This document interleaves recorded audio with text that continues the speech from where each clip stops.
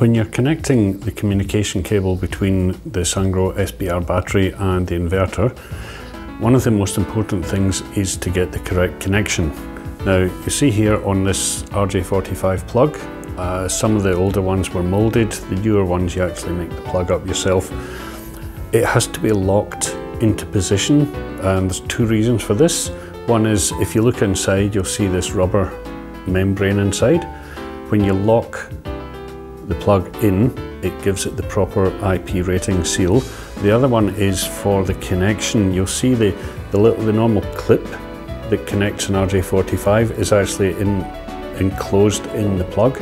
So make, to make sure it's the correct connection, this lock nut has to be actually locked. Now I'll show you how to do that on an actual battery. Attach the cable, making sure you plug the RJ45 in the correct way. Push it down a little bit. Hand tight with your hand and with the tool provided, slip it over the cable like that, down there and tighten until you feel the lock. You will actually feel it locking in place.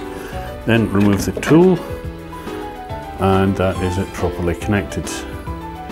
When you're connecting at the inverter end, uh, there is included a multi little plug and it's uh, spring loaded connectors.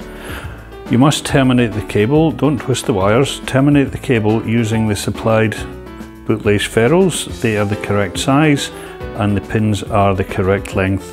They do need to be longer than the standard, so please use the ones that are in the box. And you simply just push these into the spring-loaded terminal